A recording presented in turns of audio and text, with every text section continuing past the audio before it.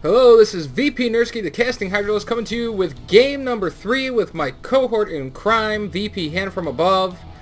This is going to be, as I said, game number three of the match between our Blue Terran spawning here in the northern position on the map, Delta Quadrant. SenDoh, winner of the last two matches, is up 2-0 in the series, and his opponent, spawning down here in the south as the Pink Terran this game, is going to be VP Anathorn.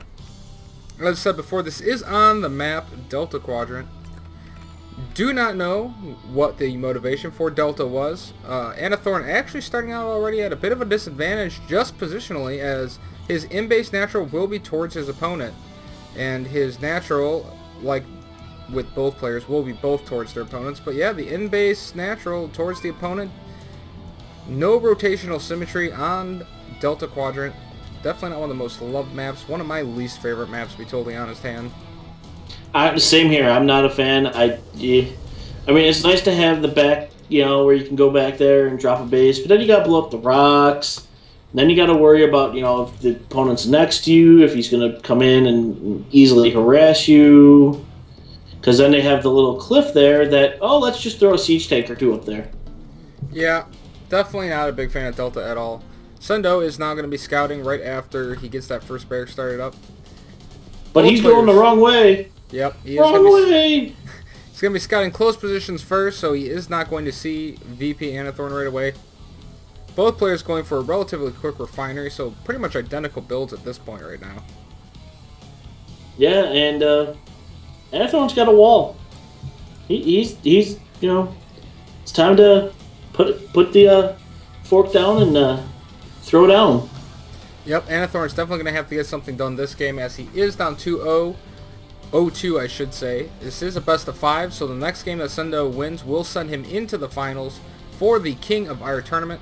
Orbital Command on the way on 16 for SenDoh, likewise on the way for VP Anathorn. Both players still pretty much mirroring each other in builds at this point in the game. Marines on the way for both players, pretty much even synced up in time. So, uh, going to be interesting to see what they end up deciding to do here. Do have an SCV out scouting around for SenDoh.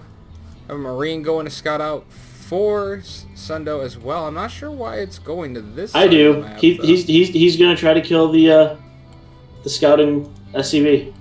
Uh, could indeed be true. He's going to try and pick out the SCV of VP Anathorn, force him to send out yet another SCV to be able to scout. Could make Anathorn think that his opponent is in the wrong place, but he is actually just going to go straight by the Marine going to see that SenDoh's not there. He was trying to be a tricky little guy, and it's not going to actually end up working out. Do have a little bit of variation builds now, as VP Anathorn going for the fairly fast factory, but getting a reactor on his barracks, whereas back in the base of SenDoh, just a standard barracks and a standard factory, no add-ons yet. Second gas getting put down now for SenDoh, going up to two gases. Meanwhile, and a tech lab going down on the factory there. Yep. Meanwhile, back in the base of VP Anathorn, do have both of his refineries up already. Factory just about to complete. About 75% done with that tech lab on the factory, so that'll be finishing up momentarily. We'll be able to see what SenDoh's going to do. I wouldn't be surprised to see SenDoh just do something kind of standard like he's done the last couple games. Uh, almost got behind that last game, but still managed to actually pull off the victory. No, SenDoh's trying something cheesy. You there was an so? SCV there. He had an SCV, he brought it in. Didn't make it up the ramp though. Nope, did pull an SCV with a couple Marines. I think that might have actually been more scouting related than actually cheese related. Uh, meanwhile, back in his base, pretty standard build. Uh, going 111, barracks factory into starport. Holy cow, chat. Must have been a little bit of a leg spike in the tournament. We look at the base of VP Anathorn. He has done the fairly similar build, going with the barracks into the factory, into the starport now building out his first siege tank. So both players in a lot of ways still mirroring each other. Anathorn has started his siege mode, whereas we look at SenDoh has not started siege mode yet. Probably just decided to delay that a little bit more than Anathorn is. Wants to make sure he can do continuous tank production. And there goes the siege mode upgrade. Is starting that now. A couple more marines just getting blasted out. Meanwhile, back in the base of Anathorn, he's got a bunch of marines, has tank, Looks like a medevac on the way. Could be going for some kind of a drop on SenDoh. We'll have to see what he actually decides to do with this. SenDoh does scan again. Wants to know what Anathorn is up to. We'll see all the units of Anathorn. oh, this isn't good. If Anathorn pushes out, SenDoh's gonna have his whole army in the back of the base because he wants to take his uh, expanse. Yep, looks like he is going to be shooting up those destructible debris so he can try and take that expansion. The positions do favor SenDoh to try and do this. If he can't get an expansion up there, it would be a lot harder for Anathorn to assault because he does have the rotational symmetry disadvantage in this match. So we're going to see what he ends up deciding to do here. First medevac is done. Looks like he's just going to be moving around his base a little bit. Might be thinking of pushing out through the front. Is indeed going to be starting to moving out from the front of his base, and then he actually just stops right at his ramp. So still kind of holding right here. Both players getting out of Viking. Neither player really committing to push the other player. Both players playing really defensively. Being very leery of what the other player might be up to. No extra additional add-ons for SenDoh just yet on that barracks. Still just running off of the one barracks, one factory, and a starport. Viking on the way now. And Anathorn's going out. He, he's going out for a little walk. Yep. Anathorn is going to be pushing out. Easily picks off that Marine that was scouting forward. Has a bunch of Marines, two tanks, and a medevac. Looks like SenDoh's actually going to go try and meet him more towards the middle of the map. Does have one more take than SenDoh. Is going to actually siege up before Anathorn, though. It does prevent Anathorn from really being able to push in here. One Marine's going to run forward to his doom. He's just a little greasy spot on the ground now. And now we have the Viking showdown. Looks like SenDoh is actually going to get the better of the Viking war. So he does actually manage to pick off his opponent's Viking. This is going to force Anathorn to back up. Does not want to be in the range of those siege tanks with that Viking flying overhead without a Viking of his own. So air advantage to SenDoh that will help him to use these tanks to keep his front secure. Maybe considering putting down an expansion is indeed going to do it. So since he has the rotational advantage, is going to quickly put down that fast command center.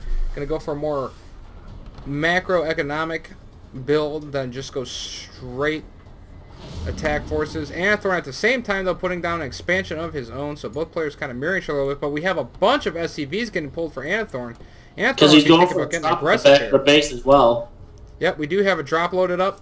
Drop is on the way to the back of the base. Looks like he's going to try to use the drop to distract, but just plowing right into the front of SenDoh's base, using those SCVs as cannon fodder to tank siege tank shots. Will clear out all the siege tanks, crushes through there, Moving forward now, just one tank left for SenDoh. SenDoh is going to be back up. Meanwhile, that drop is now getting to the back of the base, starting to shoot up the SCV line. All those Marines are going to get on the ground. They are on the ground. SenDoh forced to pull all of his SCVs. Meanwhile, at the front of the base, we do have VP Anathorn setting up a contain with his tanks. Those Marines running rampant through the base. Here comes all the SCVs to try and pick off the Marines of VP Anathorn that he did drop into the base. Viking is shooting down the medevac. Medevac just decides to stay and heal that one Marine as long as humanly possible. Marines are now trapped up against the minerals. SenDoh will clean them up. If we look at the income tab really quick, we do see that SenDoh is now behind two SCVs. 21 to the 23 of VP Anathorn, plus the lost mining time. Going to be transferring some SCVs to his base. Apparently a little bit of a leg complaint by SenDoh. Some SCVs getting transferred over. Orbital command starting as natural. Meanwhile, VP Anathorn also starting his orbital command at his natural in the middle of his base. We do see he is now up to two barracks, one starport, and a factory. Blasting out some units. Does have a engineering bay on the way. SenDoh still just running off of the one barracks and the one factory and the one starport. Has not added anything else to the mix yet. A couple of siege tanks on the high ground. So, um, kind of a standoff right here. Uh, the position is definitely benefiting SenDoh. If they were in the opposite positions, this would be a lot worse for SenDoh. But uh, actually, this is actually starting to pan out for him now as he is able to take that expansion, even with the siege tanks hanging out at the front of his base. Whereas Anathorn's expansion is a little bit more exposed than SenDoh's. So it looks like Anathorn's getting ready to maybe push in. He's got more siege up there. But I mean, that's pretty big. Oh, wait. Is SenDoh pushing, pushing out? Uh, SenDoh's chilling out right now. Nope, siege tanks are going to be getting unsieged. Looking to see what he's going to end up doing here. Looks like he is going to push out. Does push out down his ramp. Siege is up. Wants to get those tanks off the front of his base. He's going to try and target fire down the one tank of VP Anathorn. But those Marines moving forward. Even a Banshee for VP Anathorn now as he has added a tech lab to his starport. And SenDoh is going to GG out and VP Anathorn is going to take the series to 2-1, and we are going to indeed head into a game forehand. Yeah, wow. Um, I don't know if SenDoh scouted out the, uh, you know, wall of siege out there, but I would have turtled a little bit, you know. Yeah, decided not to turtle, decided he didn't want to be contained into his base. Uh, actually was on somewhat equal footing with Anathorn, but decided he didn't want to be contained. Felt like that would give Anathorn too much map control, I would surmise, and decided he'd push out. Lost absolutely everything, and that was forced to GG as he'd have no way to defend the incoming push into his base.